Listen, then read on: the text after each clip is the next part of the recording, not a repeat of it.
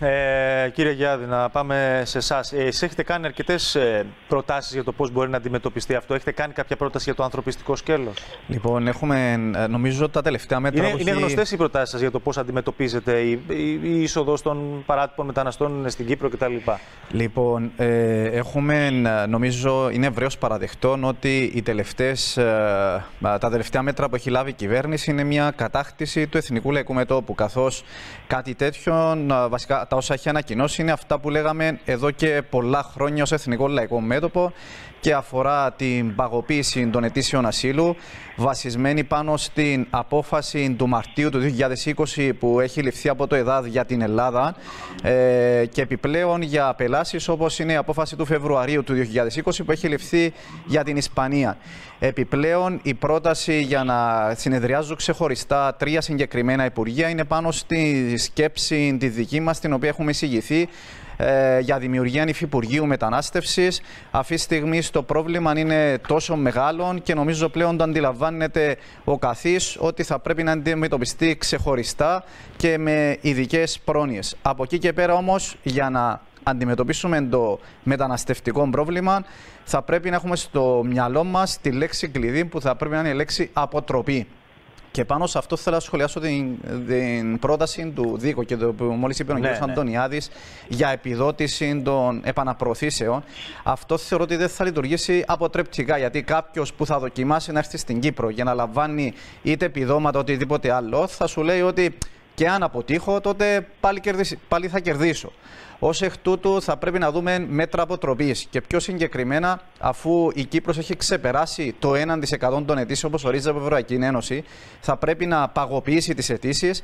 Όσοι έρχονται οι αιτήσεις ασύλου θα πρέπει να μείνουν σε κλειστά κέντρα φιλοξενίας και όχι ανοιχτά, ούτως ώστε να εξεταστεί η αίτησή τους. Να μην κυκλοφορούν καν, δηλαδή. Ε, πρέπει να μένουν σε κλειστά κέντρα, αφού είναι αιτητές ασύλου, κινδυνεύει η ζωή τους. Θα πρέπει να μένουν φυλαγμένοι σε, Καλά, σε ένα χώρο φιλοξενίας. Στην Κυπριακή Δημοκρατία. Ε, ναι, αλλά πώ από εκεί και πέρα δημιουργούνται τεράστια προβλήματα και θα παραπέμψω σε ένα πρωινό ρεπορτάζ για το Πουρνάρα και τα όσα προβλήματα έχουν δημιουργηθεί στην περιοχή Κοκκινοτριμηθιά. Α, εννοείται κινδυνεύουν οι, οι, οι, οι άνθρωποι που μένουν στα χωριά. Νομίζω έχουν πάρα πολλά παράπονα από τους τρόπους διαχείρισης και την όλη κατάσταση όπως έχει εξελιχθεί. Από εκεί και πέρα, έναν άλλο σημείο το οποίο δεν εξετάσαμε και δεν αγγίξαμε ποτέ ως Κυπριακή Δημοκρατία είναι οι αναθεωρήσεις των αιτήσεων ασύλου. Και θα γίνω πιο συγκεκριμένος. Έρχονται κάποια άτομα από εμπόλεμη ζώνη που κινδυνεύει η ζωή τους αποδεχτώ να τους βοηθήσουμε να παρέχουμε τη βοήθεια. Από εκεί και πέρα δεν πρέπει να μένουν στην Κύπρο SI. Δεν γίνεται να είναι πρόσφυγες ΣΑΗ. Ο πόλεμος, ας πούμε, για παράδειγμα, στη Συρία έχει τελειώσει. Ναι. Οι κυβερνητικοί έχουν επικρατήσει. Ω εκ τούτου, θα πρέπει να αναθεωρήσουμε τις αιτήσεις ασύλου από τη Συρία και να προχωρήσουμε σε επαναπροωθήσεις όπως άλλωστε ζητάει και η Συρία. Θα πρέπει να δούμε το πρόβλημα στη βασική του δομή.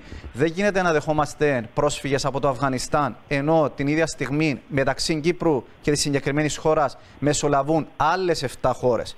Ο πρόσφυγας θα πρέπει να δούμε πώς ορίζεται ο πρόσφυγας, θα πρέπει να δηλώσει αίτηση ασύλου στον πρώτο ασφαλή προορισμό. Από εκεί και πέρα είναι παράνομος μετανάστης. Μιλάμε πλέον για λάθρο μετανάστευση.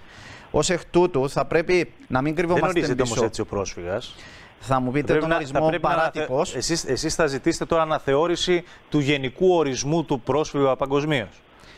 Ε, όχι, έτσι είναι, από τη στιγμή που κάποιος φεύγει από τη χώρα του πρόσφυγας, δεν γυρνάει όλον τον κόσμο και δεν είναι πρόσφυγα. Και εδώ πέρα είναι ένα καλό σημείο να αναφέρω και για τους Κύπριους, επειδή είναι ναι. ένα επιχείρημα που χρησιμοποιούν ευρέω ναι, ναι. από όλους τους πολιτικούς χώρους. Ναι. Ο Κύπριος δεν έφυγε ποτέ να πάει λαθρέα σε κάποια χώρα. Δεν ήταν ποτέ εις βάρος οποιασδήποτε άλλης χώρας. Ακολούθησε όλες τις νόμιμες διαδικασίες. Πήγε σε μια χώρα, δούλεψε ως πρόσφυγας, και επίστρεψε πίσω στην πατρίδα του. Ε, Προσπάθησε να βοηθήσει τη χώρα μου. Από εκεί και πέρα όμως ο, ο Κύπριος ναι. και ο Ελλαδίτης και ο Κύπριος και οποιοδήποτε άλλος ναι. δεν πήγαινε σε οποιαδήποτε άλλη χώρα και να λαμβάνει παχτολούς ε, επιδομάτων και μιλάμε για τεράστια κονδύλια που δίνονται σήμερα. Και να θυμίσω μόνο ότι η Κυπριακή Δημοκρατία μέσω του κρατικού προπολογισμού ενέκρινε 170 ε, εκατομμύρια για το μεταναστευτικό. Εν συνεχεία συμπληρωματικών προπολογισμών εγκρίναμε περίπου ακόμα 40 εκατομμύρια. Και να θυμίσω ότι η Ευρωπαϊκή Ένωση για τέσσερα χρόνια μας έχει ε, αποδεσμεύσει ένα κονδύλι 120 εκατομμυρίων, εκ των οποίων θα χρησιμοποιήσω την κυρία Ελένη Μαύρου που το είχε μπει την προηγούμενη εβδομάδα. Καταφέραμε ενός Κυπριακή Δημοκρατία να αντλήσουμε μόνο 39 εκατομμύρια. Ω εκ τούτου, θα πρέπει να δούμε και να θεωρήσουμε Μάλιστα. την μεταναστευτική μας πολιτική. Ευχαριστούμε πολύ, κύριε Τσικαλά. Τι έχετε να πείτε για όλα αυτά εσείς; Εντάξει, επιβεβαιώνουν αυτό που είπατε και εσείς στην εισαγωγή σας κύριε Μιχάλαρη, ότι πρόκειται για ένα πολύ σύνθετο πρόβλημα, πολύ σύνθετο θέμα, ίσως το πιο σύνθετο αυτής της περίοδου, όχι μόνο στην Κύπρο, αλλά σε όλη την Ευρώπη.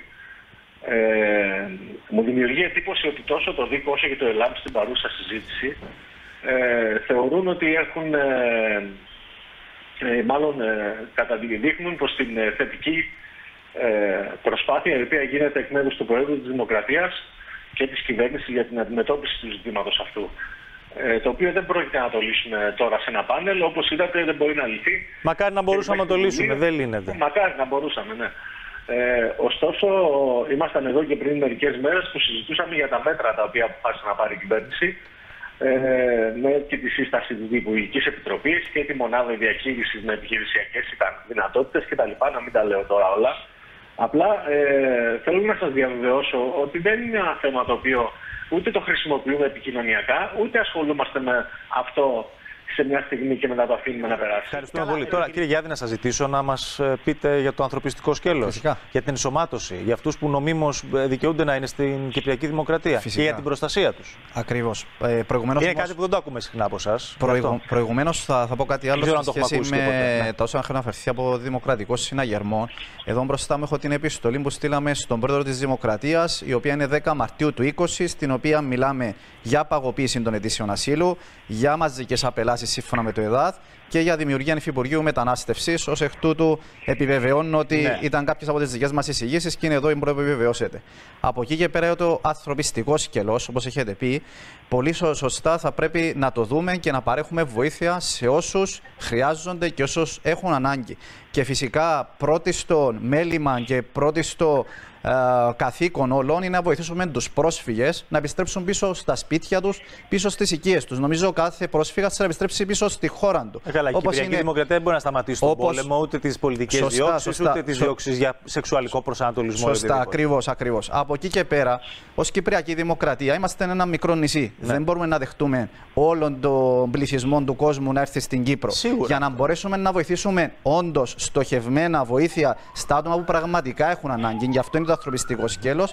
Πρέπει να έχουμε στο μέτρο των δυνατοτήτων μας αιτητές ασύλου, που αυτό είναι το 1% όπω ορίζει η Ευρωπαϊκή Ένωση, ούτως ώστε να μην λειτουργούμε ενάντια στον οποιοδήποτε. Μπορεί εσείς, κύριε Μιχάλαρε, να θέλετε εδώ πέρα στο στούντιο να φιλοξενήσετε 56 βουλευτές. Ναι. Είναι αδύνατον όμως. Ω εκ τούτου, Ο που έχετε όλη, εφιάλτης όλη την μου καλή είναι διάθεση. 56 βουλευτές μαζεμένοι όλοι μαζί εδώ να μου λέτε τα Μπορεί να, δικά σας είναι ο έχετε, εφιάλτης μου. μπορεί να έχετε όλη την καλή διάθεση, αλλά δεν μπορεί να τους Δεν ξέρω φιλοξενήσετε. την έχω. Κατά αντιστοιχεία, Ναι. και η Κύπρος μπορεί να έχει όλη την καλή διάθεση να φιλοξενήσει, Ναι. αλλά δεν μπορεί να το πράξει. Και για να ολοκληρώσω, σε σχέση με τα επιδόματα, πρέπει να αποκοπούν αυτά τα επιδόματα που δίνονται και στο τέλος γίνονται κίνητρο να έρθουν στην Κύπρο. Και αφού μιλάμε για ανθρωπιστικό σκέλος, αυτή τη στιγμή είναι πάρα πολλοί Έλληνες Κύπροι που χρειάζονται οικονομική βοήθεια και λαμβάνουν πενιχρά επιδόματα σε, αντίστοιχη με όλο, σε αντιστοιχεία με όλους αυτούς που έρχονται στην Κύπρο Ναι. για να αποκομίσουν ωφέλη. Μάλιστα. Και γι' αυτό Ολοκληρώστε. ολοκληρω... η τελευταία μου λέξη είναι ότι πρέπει να εφαρμόσουμε μια αποτρεπτική, αυστηρή μεταναστευτική πολιτική, όπως εφαρμόζουν πολλά άλλα κράτη και θα αναφερθώ στα, στα δύο πρόσφατα παραδείγματα της Αυστραλίας όπου είχαμε συνάντηση Ναι. ως Βουλή των Αντιπροσώπων προσφάτως και με την Ουγγαρία όπου είχε, Μάλιστα. είχαμε και πάλι συνάντηση. Θα σας ευχαριστήσω πολύ Χαιρόμαστε, και τους χαιρόμαστε τρεις. που όλοι επιτέλους αντιλαμβάνονται το πρόβλημα και συμφωνούν με τις συζητήσεις του ΕΛΑΜ. Μα το πρόβλημα Δεν είναι δεν, η πρώτη δεν υπάρχει φορά. κάποιος που δεν το αντιλαμβάνεται, Δεν το κύριε. Δεν είναι... Κάποτε μας κατηγορούσα γι' αυτόν το λέω. Εσείς κατηγορούσαν για άλλα θέματα, γι' αυτό, για το ζήτημα Και της... για το θέμα το μεταναστευτικό. Ναι, αλλά για ποιο σκέλος του μεταναστευτικού; Έχει χίλια ε, σκέλη. Αυτό ήταν. Μιλούσαμε για παράνομη μετανάστευση και σήμερα όλοι επιτέλους αντιλαμβάνονται το Ευχαριστούμε πρόβλημα. πολύ. Ευχαριστούμε. Λοιπόν, Ήταν- συγγνώμη.